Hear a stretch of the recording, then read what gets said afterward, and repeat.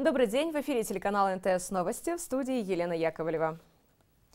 Бакир Таиров, экс-глава финполиции, вышел на свободу, заплатив казну 20 миллионов сомов. Сообщается, что накануне такое решение принял Первомайский районный суд столицы. Отмечается, что ходатайствовал об изменении меры пресечения следователь ГКНБ и прокурор. Бывшего председателя ГСБ обвинят в незаконном истребовании денежных средств от руководителя одного из государственных органов. ГКНБ установила, что эти финансы Таиров взял на октябрьские парламентские выборы прошлого года на предвыборную кампанию одной из политических партий. Причастного к событиям шестилетней давности задержали силовики Госкомитета нацбезопасности. Мужчину, который, по их данным, является членом Международной террористической организации, имел отношение к группировке боевиков, готовивших теракты в столице в 2015 году и которых ликвидировали в жилом секторе на пересечении улиц Горького и Тимирова. В середине июля этого года тогда распространялось сообщение о том, что в городе орудует банда приверженцев ИГИЛ.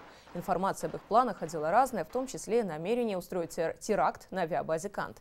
Террористы скрывались в частном доме. Когда бойцы спецподразделения начали операцию по их задержанию, те оказали сильное сопротивление. Началась перестрелка из автоматов, пистолетов с применением взрывчатых устройств.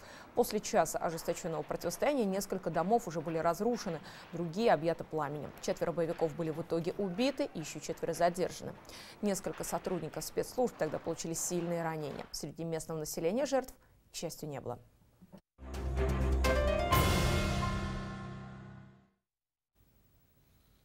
Послом в Россию предлагают назначить депутата Гульнару Клару Самат. Ее кандидатура, как сообщается, обсуждается для назначения на пост главы дипмиссии. Ранее она была известна как Клара Кабилова. В 2007-2008 годах она работала главой Центральной комиссии по выборам и проведению референдума в Кыргызстане. Будучи председателем ЦИК, она публично заявила о давлении со стороны сына экс-главы государства Максима Бакиева, оставила должность и выехала за границу, вернувшись лишь в 2009 году. Ну а в 15 2015-м сменила личные данные, став Гульнарой Кларой Самат. Имеет дипломатический ранг первого секретаря первого класса, высшее образование по специальности конфликтология. Врачам, соцслужбам и муниципальным чиновникам в течение недели нужно будет обследовать детей, обучающихся в режиме офлайн в школах и детсадах города. Тем, у кого наблюдаются симптомы ОРВИ, провести ПЦР-анализ на коронавирусную инфекцию. Такие поручения дал первый вице-премьер-министр Артем Новиков. Он отметил, что граждане тревожатся из-за сообщений о детях с болезнью Кавасаки и пневмонией. По информации Центра Госанобеднадзора, с января в Бишкеке коронавирус выявлен у 56 школьников и 19 педагогов. Однако из них только только 6 находились на офлайн обучении. Семеро – ученики частных школ, 28 ребят же заболели, обучаясь дистанционно, то есть не посещали школу. Всего в системе городского образования чуть более 10 тысяч работников. В онлайн-обучении задействовано порядка 6 тысяч учителей. В этой связи, по мнению Новикова, нужно провести анализ и создать единую медицинскую базу детей в возрасте до 14 лет и вести ежедневный учет по состоянию тех, кто посещает образовательные учреждения.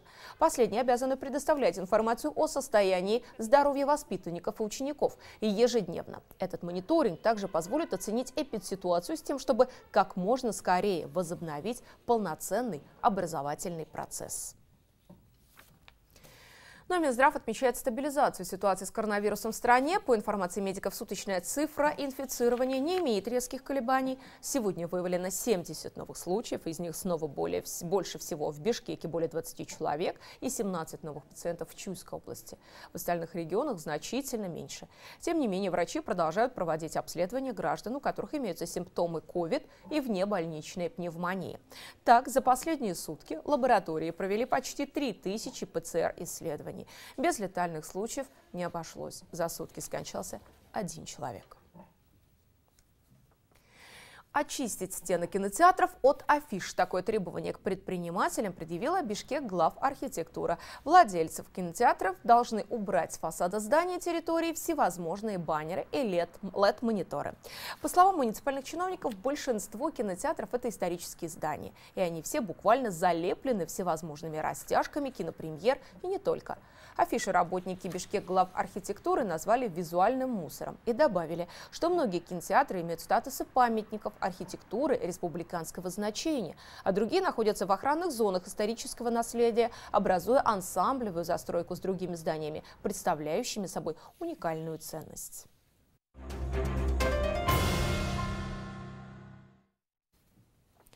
В США бушует непогода, снегом замело южные штаты. Такое явление для этих краев катастрофическое. Там погибли уже более 20 человек. Это штаты Техас, Луизиана, Кентукки, Северная Каролина и Миссури. Энергосистема не выдержала и миллионы людей остались без электричества.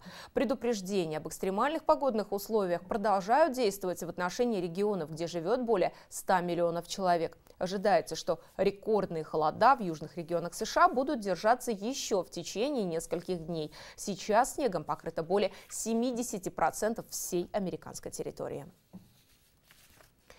Ну а на итальянском острове Сицилии проснулся вулкан Этна. Он считается самым активным и крупным из действующих вулканов в Европе. Его высота более 3000 метров. Извержение сопровождается не только выбросом пепла, но и потоками лавы, которые стекают по склонам. Пришлось приостановить работу аэропорта города Катания. Частицы пепла попали в соседние населенные пункты. Активность началась из-за подземных толчков на глубине до 3 километров.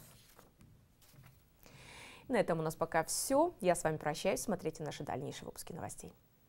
Thank